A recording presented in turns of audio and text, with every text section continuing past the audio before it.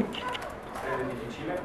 Uh, acest joc de joi de la Liberec, care din păcate mi-a costat această calificare foarte scumpă, am trecut patru pe la Ban, pe Roman, pe Boros și pe Fatai. Bravo, wow! Care chiar dacă uh, au stat pe bancă, au găsit o figurație.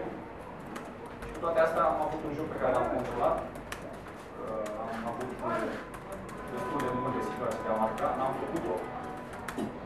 Cei de la Botoșani au reușit să câștige cu șansă. Asta e, trebuie să-i felicităm, noi trebuie să analizăm foarte bine, să vedem ce putem să recuperăm ce mai repede în această săptămână și să aducem A fost etapa celor mici. Am am spus că de la începutul campionatului că va fi o luptă cruntă, se vor pierde foarte multe puncte și campionatul, cred, în mea se va, se va câștiga cu mult mai puține puncte ca anul trecut. Pentru că știți, cu toții rezonează șase echipe și este normal. Sincer, să prezumăm că aceste mici puteți pierde la Botoșani. Am spus, am fost foarte teamă de acest joc, a fost și această căldură infernală, s-a văzut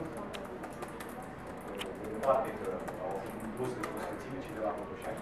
Chiar dacă nu le-au pus de foarte multe în dis- în dificultate, nu și-au creat foarte multe ocazii, să asta este fotbalul, este să să rezolvăm, să Arbitrajul cum este?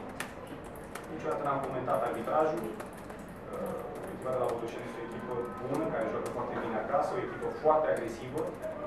Însă astăzi cred că această agresivitate a fost de foarte multe ori dusă la extrem, la linie, peste linie. Atât. Urmează Iașul pentru echipa dumneavoastră. Am spus, e important să vedem, pentru că avem foarte mulți accidentați.